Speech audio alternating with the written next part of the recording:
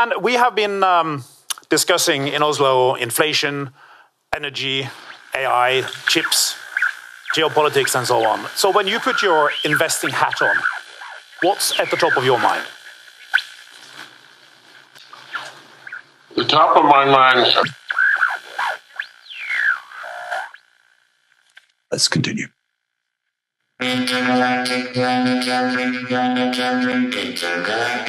I thought I'd watch Stan, Stan Druckenmiller, the macro king. Um, I'm not being facetious.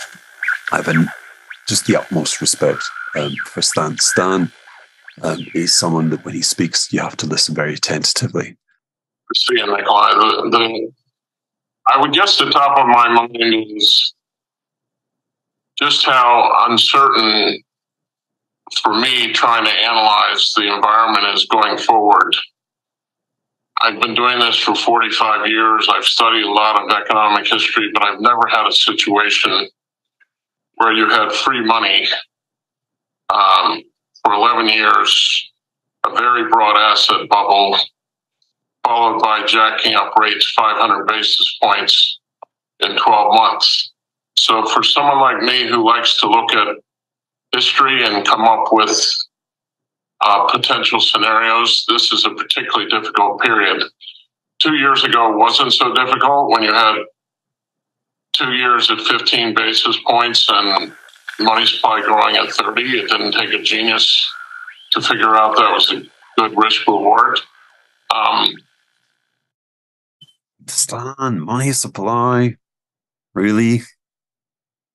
Um, my objection there is we're talking when you're talking about M2 money supply, you're talking about the sovereign creation of dollars. That is, dollars created within the sovereignty of the United States.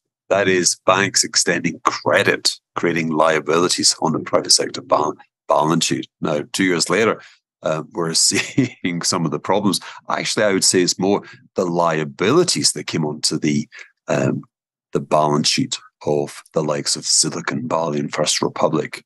Massive Silicon Valley's liabilities or deposits went from, I think, 80 billion to 220 billion, which led them into uh, the folly of whatever they did with their, their treasury portfolio, but they bought very long dated treasuries. Just as Stan said, rates went up 500 basis points. Um, and again, we'll come back to it, but I think Stan is very, very focused on a Fed centralized world and Fed money. And I believe over the last 50 years, Fed money has become very much the minority player and has been overtaken by non sovereign dollar creation. That is, dollars created outside the sovereignty of the United States by presenting collateral to banks outside the United States.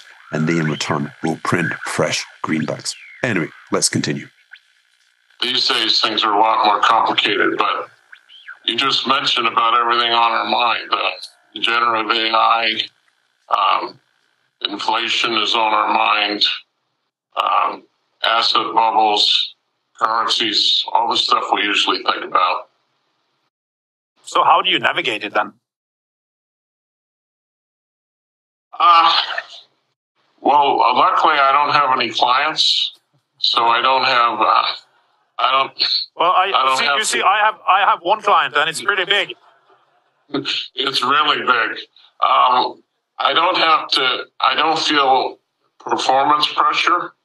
Um, so historically, I deal in five or six asset buckets. Tends to keep me out of trouble in terms of playing in an area where I shouldn't be playing at, the, at a particular time. Uh, again, let's just stop there. Probably going to be annoying, but when he says five six, um, he plays at all times in five six um, asset buckets. Um, think about that. That's quite wise. Um, I would advise private investors, do-it-yourself investors, uh, to think along similar lines. Um, I've pinned on my uh, Twitter account um, my notion of a permanent portfolio. A permanent portfolio is this notion of, if you will, there are four compass compass points, cardinal points in the world of macro investing. You have the S&P, you have um, duration treasuries, that is 10 plus years um, in the US Treasury bond market. You have another bucket which you could broadly label alternatives. That could be gold, it could be silver, it could be Bitcoin, it could be platinum and palladium, it could be real estate, it could be private equity, it could be index linked bonds. And then the final one would be um, cash. And that might be a consideration on uh, the currency that you hold your cash within. So think of like four buckets.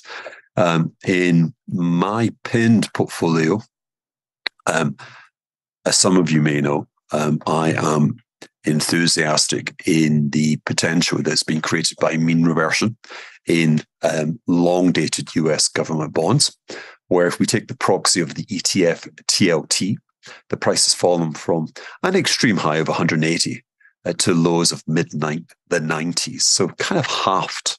That's what I call mean reversion. And I believe there are forces afoot outside America as we travel uh, to Asia, and in particular, given its sheer size and magnitude, China and its accumulation. Um, I would call it a Ponzi organized glut in savings, which then gets pumped into the US. And I think just as we saw in March 2009, when mean reversion had brought the S&P uh, crashing down by 60%, that was a buying opportunity. And I think today's a similar opportunity in those bonds. But as Stan says, he plays five or six buckets.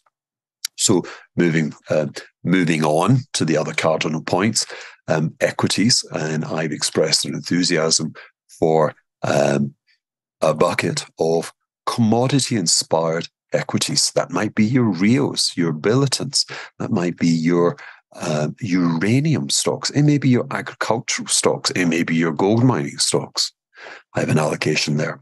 And then if we come into alternatives, um, I have uh, expressed um, uh, another mean reversion kind of play in Bitcoin via the Grayscale Trust, where not only did Bitcoin fall by over 60, 70%, but the um, the closed end fund, the uh, it trades um, it tends to trade either a premium or a discount.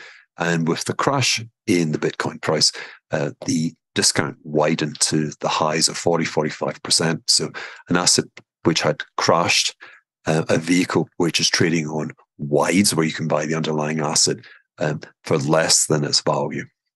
And then finally, if we go into the uh, my fourth bucket, I've expressed a desire to be long the US dollar and short the Chinese renminbi, which is presently around seven and seems to be on the slide. I am not enthusiastic that things are going well within China.